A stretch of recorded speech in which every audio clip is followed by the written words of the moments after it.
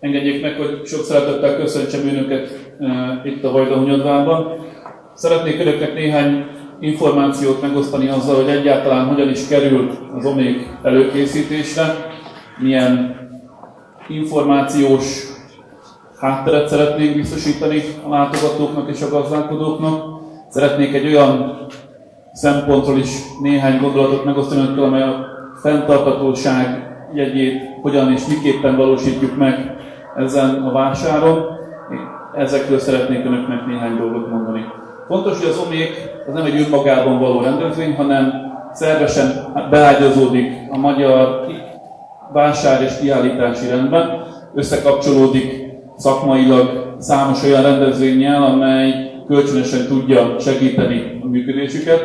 Ilyen például, hogy a fogyasztók, a kiállítás látogatók számára minél több helyen tudjuk megmutatni, hogy mit fog tudni az Omék számokra nyújtani, Éppen ezért a szakmai előrendezvényeken túl, amelyek az ország számos pontján kerültek megvalósításra, itt a fővárosban, lényegében a következő időszakban több nagyobb eseményen is egyfajta partner rendezvényként az OMI megjelenik. Ilyen a Nemzeti Vágta, amely a Hősök terén kerül majd szeptember 16-17-én megvalósításra. Itt nem csak, hogy egy olyan futam kerül megrendezésre, amely az omékról kerül elnevezésre, hanem bizony születi felvonulást rendez az Agrár Marketing Centrum Nemzeti Vágta keretében, amely lényegében zenés, táncos, remélhetőleg vidám körülmények között igyekszik majd csábítani a látogatókat a kiállítást, és megmutatni mindazt, egyfajta ízelítőt nyújtani mindabból, amit majd az Omik fog számukra nyújtani.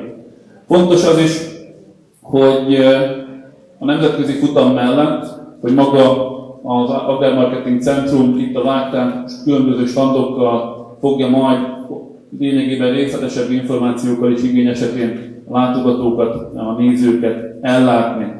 Ugyanígy fontos partnerrendezvényünk ebben az évben a 7. Budapest édes napok, amely a Szent István téren a Bazilika előtt kerül majd megrendezésre szeptember 15-17-én, amely lényegében szintén egyfajta partnerrendezvényként csábító eh, információkat fog kínálni az oda látogató nézők, látogatók számára. Ahhoz, hogy minél többen tudjanak erről az eseményről, fontos, hogy ápoljuk és gondozzuk a gazdálkodók információval ellátását. Ebben az idei moméknál is a Magyar Mezőgazdaság kiadó lapcsoport az, amely számunkra nagyon komoly segítséget nyújtott, hiszen végig figyelemmel kísérték és tudósítottak az előkészületekről, adták azokat az információkat, érdekességeket, figyelemfelkeltő híreket, amelyek a gazdálkodók, a magyar élelmiszergazdaság szereplői számára felkeltetik az érdeklődést. Nem utolsó sorban pedig, mint egy nagy nemzetközi sporteseményen, az OMÉK keretében eh, a terveink szerint az öt nap alatt egy olyan 25 ezeres példányszámban 8 oldalon megjelenő önálló OMÉK napilap kerül majd megjelentetésre, amely lényegében napról napra képes a látogatókat, a kiállítókat egyaránt az omlékkal kapcsolatos legfontosabb információkról, hírekről, eseményekről tudósítani és tájékoztatni.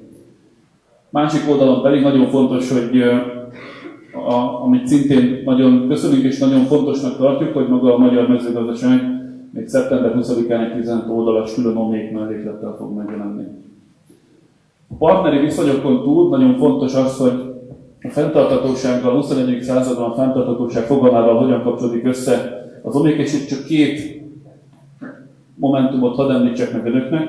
Egyik oldalon a mostani omékon önálló bioszigetként fog az ökológiai gazdálkodás, a biogazdálkodás megjelenni, amely azt gondolom, hogy egy a téma az ökológiai termékek iránt érdeklődő fogyasztók szakmai közönség számára hasznos és remélhetőleg fontos szempontokat tud majd felvillantani. És ne feledkezzünk meg arról a másik nagy kérdéskörről, amelyben az OMÉK szintén szerepet kíván vállalni, ez pedig az élelmiszer pazarlás elleni küzdelem, és az élelmiszer veszteség elleni fellépés. Ez pedig úgy fog megnyilvánulni az idei omékban, hogy a Magyar Élelmiszerbank Egyesülettel karöltve lényegében részben a megmaradó egyszerre hasznosítható tartós élelmiszereket, valamint a kiállítóktól jótékony gyűjtés keretében összeszedett élelmiszereket civil szervezetek segítségével az omikot követő napokban szét kívánjuk osztani, és azt gondolom, hogy ez mindenképpen egy fontos és új eleme az idei homéknak, és remélhetőleg sok családnak, sok gyermeknek tudunk utána hasznos segítséget, örömöt nyújtani kiváló magyar élelmiszerek segítségével. És egy gondolatot zárásképpen még engedjenek meg nekem, amely a szakmai nappal kapcsolatos, amely egyfajta nulladik napként fog majd az omik keretében megrendezésre kerülni. Azt, hogy ezt a szakmaiságot a mostani omékon minden korábbinál erősebben gondoljuk, ennek a szakmai napnak a megszervezése azt gondolom, hogy alátámasztja, és ez érdeklődés a magyar remészekgazdaság szereplői részéről a jelentkezők számában mindenképpen már most tetten érhető. Éppen ezért fontos, hogy ezt a szakmaiságot az omék mellett is tudjuk erősíteni. Terveink szerint ezt lényegében minden évben egy hasonló szakmai napot megkívánunk majd rendezni, omék évében ezt az omékhoz társítva, amik omék nélküli évben pedig az omékon kívül, tehát egyfajta hagyományként kívánjuk az üzleti szereplők, a piaci szereplők közötti szakmai kapcsolatrendszert ilyen típusú rendezvényeken keresztül is erősíteni.